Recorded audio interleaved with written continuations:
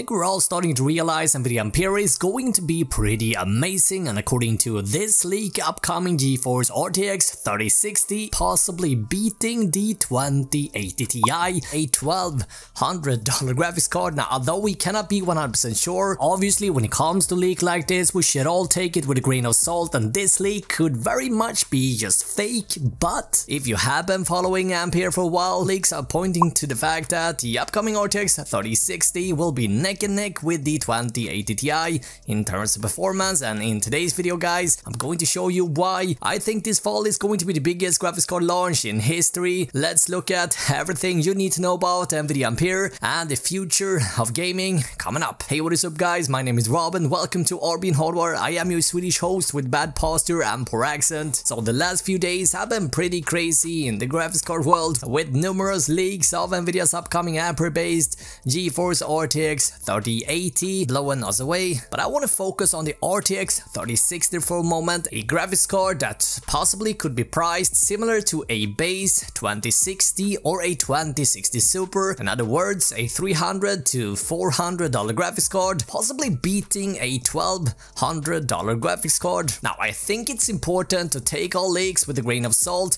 and before anything is official, nothing is set in stone, but the thing is, when we're typically getting closer to a tech product launch, regardless if it's a graphics card, a CPU, or you know an upcoming console, historically as we're getting closer to the product being launched or revealed, leaks tend to get more accurate, and I'm sure you would agree on this as well. Now the thing with Ampere is that although there's been one or perhaps two or even three leaks that have gone against each other, most leaks have been pointing in the same direction. The two biggest upgrade from current RTX cards and upcoming Ampere seems to be the following. Number one, a shrink of the GPU die. This will lower the energy consumption and this will make the graphics card more energy efficient. This will also result in more transistors on a smaller area, which in return result in a massive increase in performance. And with Ampere, most leaks suggest Nvidia is uh, going from 12 down to 7 nanometer, and we are expecting roughly 40 to 50% increase while cutting the power in half with a possible 10 to 20% IPC increase. Now the second biggest change here, can you guess it?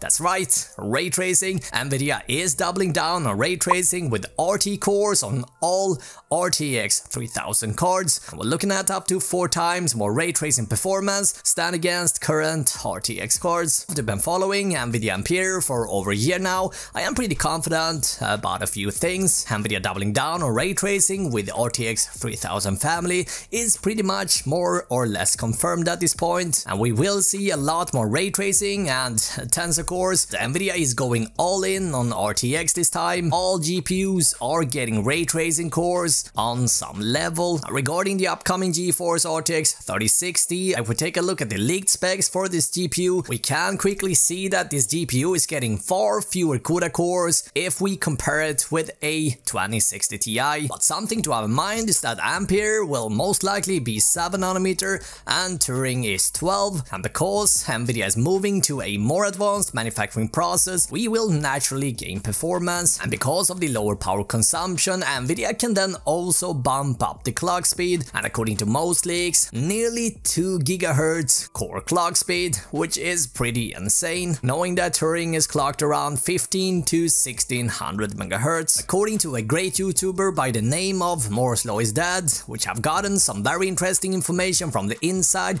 we should expect a solid 10 to 20% IPC increase over Turing and about 95 rasterization performance for the RTX 3060 stand against the 2080 Ti and perhaps even more ray tracing performance on the 3060 than what we can squeeze out of the RTX 2080 Ti, much thanks to this new architecture and great number of RT cores for these new cards. Now in case you're curious about this video made by Moore's Law is Dead, you can find that video linked up down below. So we are essentially potentially looking at a 400 to perhaps maybe $500 graphics card beating a $1200 card. Keep in mind here, Nvidia typically charges far less than $500 for a mid-range GeForce RTX 2060 or any GA104 variant or any other GPU of this size and with the competition from AMD and Big Navi, I honestly find it hard to believe Nvidia would charge more than $500 for this graphics card. Guys, I would be very interested to hear your take on this as well. Anyway, if the leaks specs are true, we are expecting up to 2000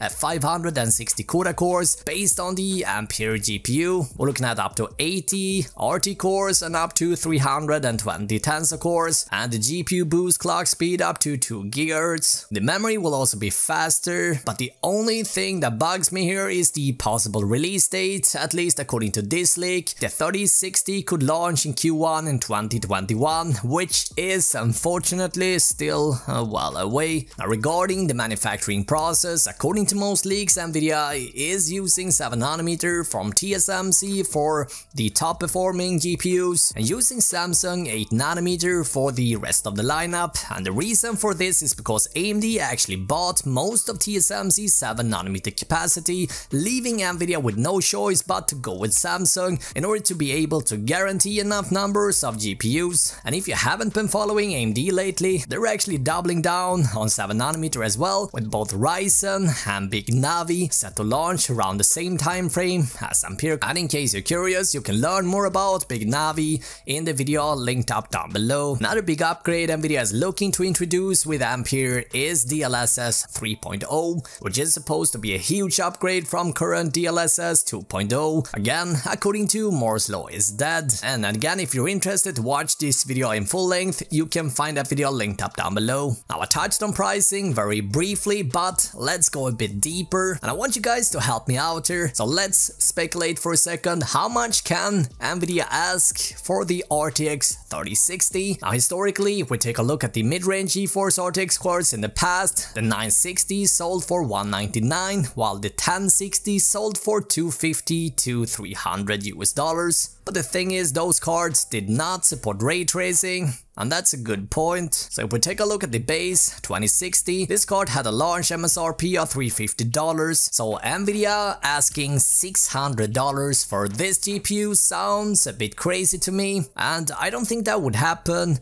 but I would love to hear your thoughts on this. Something to take into consideration here is the fact that Nvidia has been able to, up until this point, offer something that nobody else have been able to match. It was first to introduce ray tracing to the masses, and they have been able to stay exclusive for almost two years now. And if you don't remember, RTX was actually unveiled in 2018. Now this exclusivity have allowed them to set their own prices and dictate the market bit if you like, because there hasn't been any competition. And knowing that AMD is planning to drop Big Navi in Q3 in around the same time frame as Ampere, we know that there's going to be competition here. If you don't know, these graphics cards are also coming with ray tracing. So in other words, the era of RTX being exclusive is soon about to end. Now while I cannot promise you guys anything, have a very strong feeling the upcoming RTX cards will be a much better deal for us gamers than what RTX has been up until this point. If that means lower prices on the whole RTX 3000 lineup